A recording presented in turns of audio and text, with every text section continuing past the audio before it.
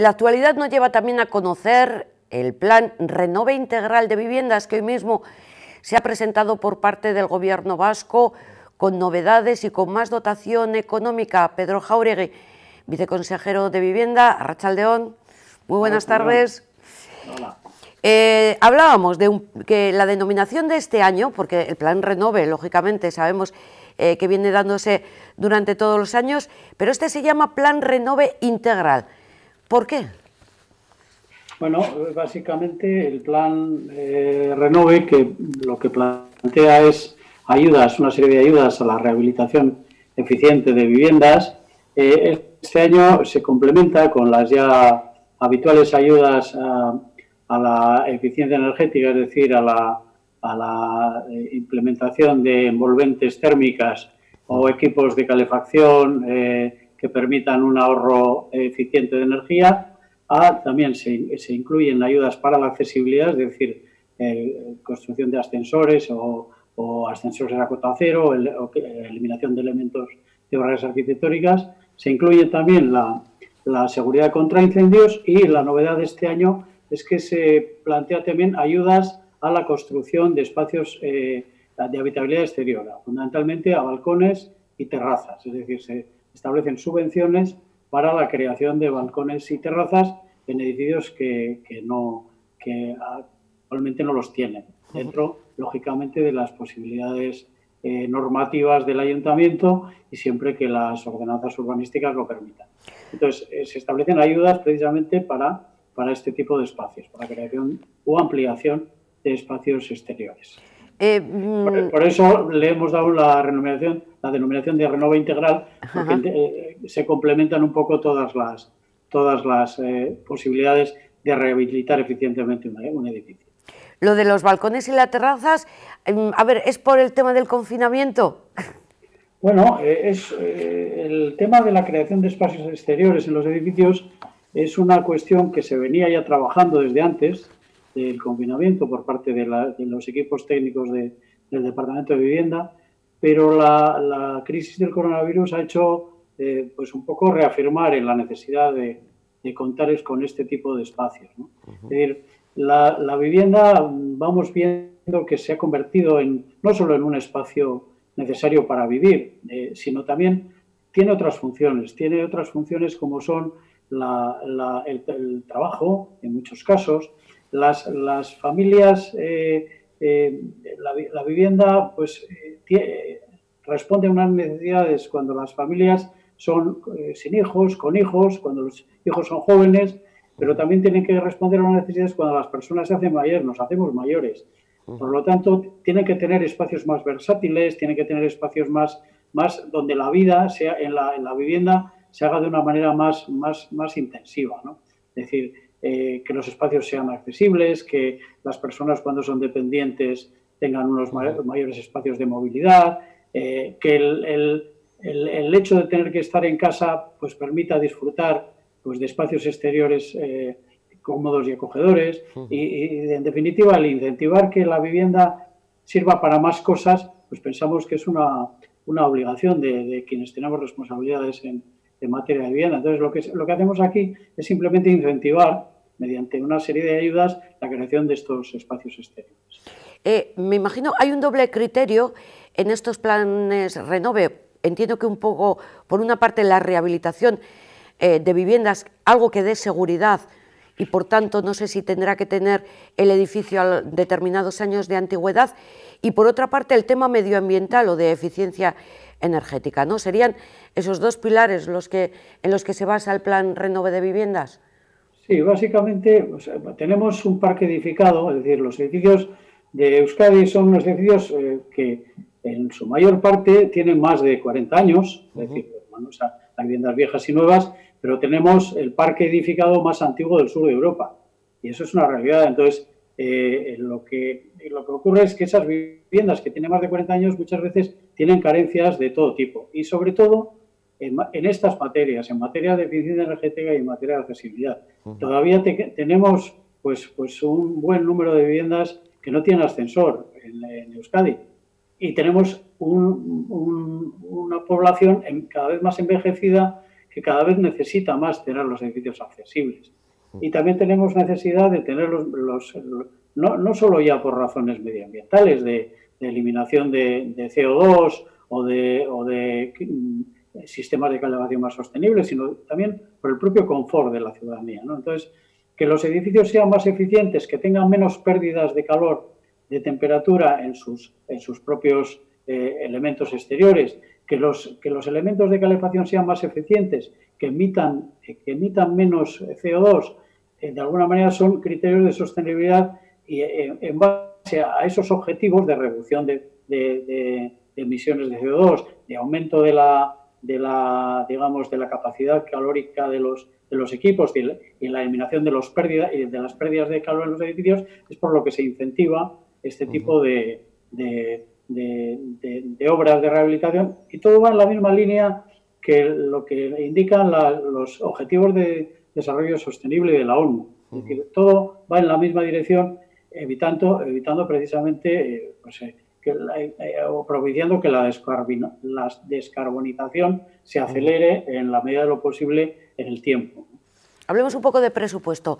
¿Qué le cuesta al Gobierno vasco, al Departamento de Vivienda, este plan Renove?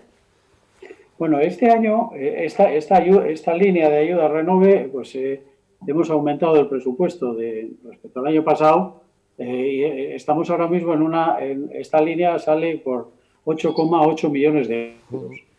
Pero esta no es la única línea de, de ayudas, es decir, esta mañana he hecho balance y un poco de, las, de todas las ayudas que se han dado para rehabilitación, porque hay, varias líneas distintas rehabilitación de, edificios.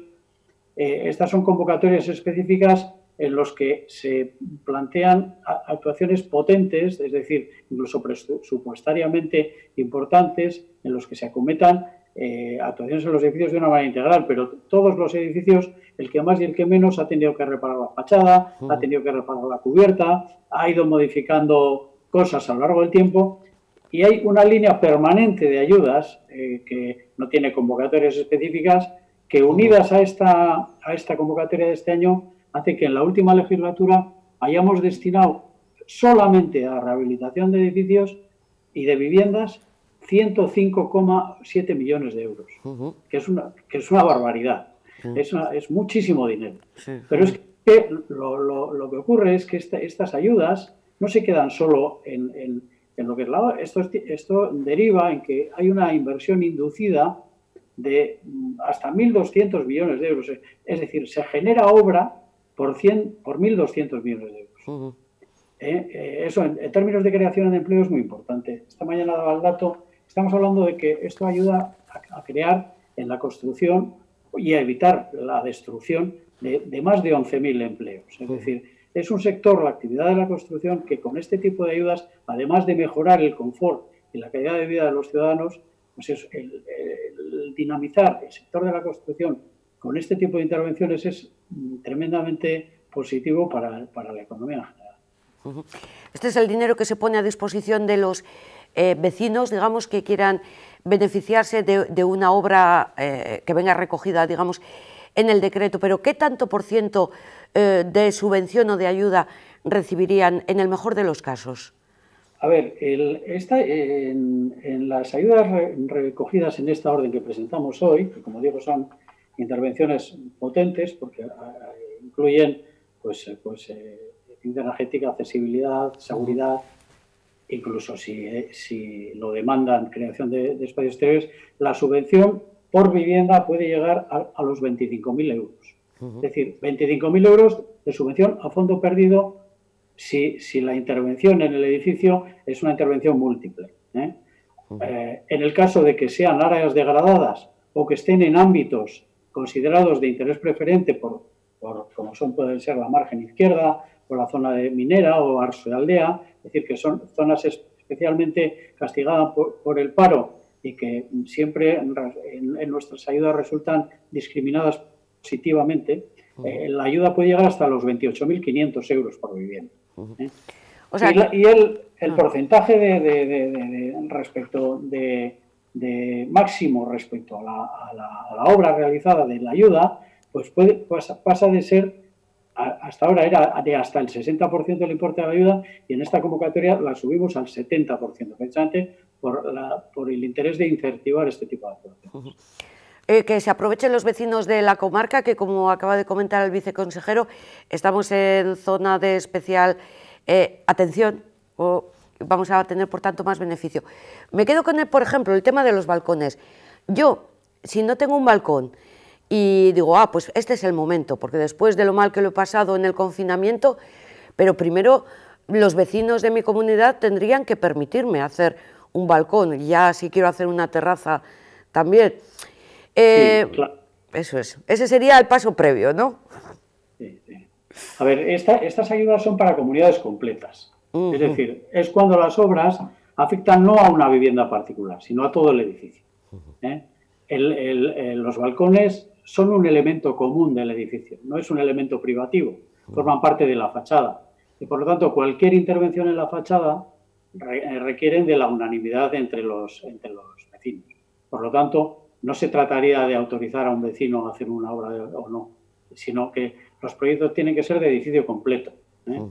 Esto es posible si le encaja dentro de las ordenanzas municipales de construcción, si no tienen agotada la edificabilidad, etcétera. Eh, como digo, las intervenciones son de edificio completo. ¿eh? Y, eh, hay, puede haber edificios que tienen, pues que igual en, obra pues han tenido miradores o han tenido digamos fachadas cerradas con solamente ventanas que, puedan, porque no agotan la edificabilidad, tener la posibilidad de posibilitar balcones. Si hay una unanimidad, unanimidad entre, entre los vecinos y el ayuntamiento lo autoriza, podrían tener una ayuda de hasta 5.000 euros por vecino, ¿eh? con, un eh, del orden, son 1.000 metros, mil, euros por metro cuadrado de, balcón que saque. Eso sería a fondo perdido, pero siempre por edificios completos. Eso es. Eh, de todas formas, comentabas el tema de la colocación de ascensores. Eh, pero eso es algo que ya se viene haciendo y, los ayuntamientos también ayudan. O sea, ¿el gobierno vasco en este sentido le da el dinero a los ayuntamientos o es que complementan la ayuda? No, eh, eh, en estas ayudas son, van directamente a las comunidades y son compatibles, normalmente suelen ser compatibles con las ayudas que los propios ayuntamientos a su vez dan a sus vecinos para obras de rehabilitación. Es decir, se pueden sumar, se pueden completar. ¿Eh? Lo que no pueden pasar es del 100% del presupuesto, Pero sí son, sí son compatibles. Nosotros solamente eh, tenemos una línea de, ayuda, de ayudas que no es esta, que damos a los ayuntamientos para la construcción de elementos de accesibilidad en calle, es decir, mm. ascensores urbanos o, accesos, eh, no, no, rampas y escaleras mecánicas, porque estos no garantizan la accesibilidad, garantizan la, practicabilidad, pero no, no se incluye, y, obras para salvar escaleras, salvar eh, escalones, en fin. Pero esas son ayudas directamente a los, ayuntamientos que tienen su propia línea de ayudas que es distinta a esta que presentamos. Eh, ¿Hay plazo? ¿Cuándo comienza el plazo? ¿Cuándo finaliza? ¿O es cuando se acaba el dinero? No, vamos a ver, el plazo final empieza a, a, partir del día siguiente de su publicación en el boletín. Eh, oficial del País Vasco, que será mm, aproximadamente el día 15, es decir, la semana que viene. Y, hay dos meses para la presentación de las proposiciones.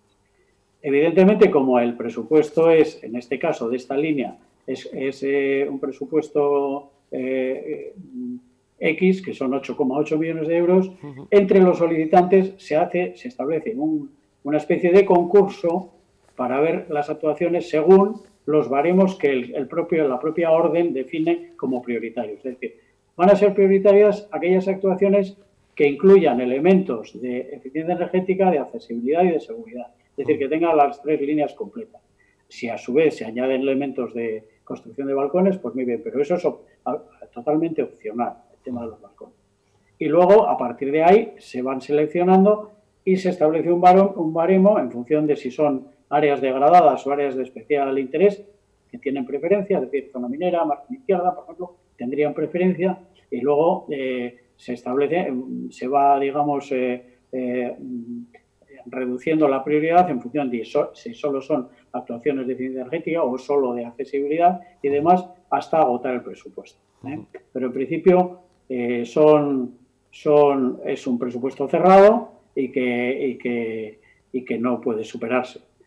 Como digo antes, existe otra línea de ayudas que está siempre en marcha y siempre en vigor, que los porcentajes de ayuda no son tan potentes, pero que en el caso de no acceder a estas pueden presentarse a las ayudas del programa que está abierto siempre de, rehabilitación, que además incluye la posibilidad de acceder al Fondo Especial de, Accesibilidad para las personas que tengan un pocos recursos para poder ir acudir a las derramas y que permiten eh, garantizan que el gobierno puede adelantarles el dinero en caso de que no dispongan, en el caso de obras de accesibilidad, y luego también, evidentemente, pueden ir a, los, a las ayudas eh, eh, individuales, subvenciones a fondo perdido o, préstamos en su caso, y a las, a las desgrabaciones fiscales, que esas son siempre, están siempre abiertas para cualquier obra de rehabilitación de Gracias, Pedro Jauregui, viceconsejero de Vivienda, por toda esta información.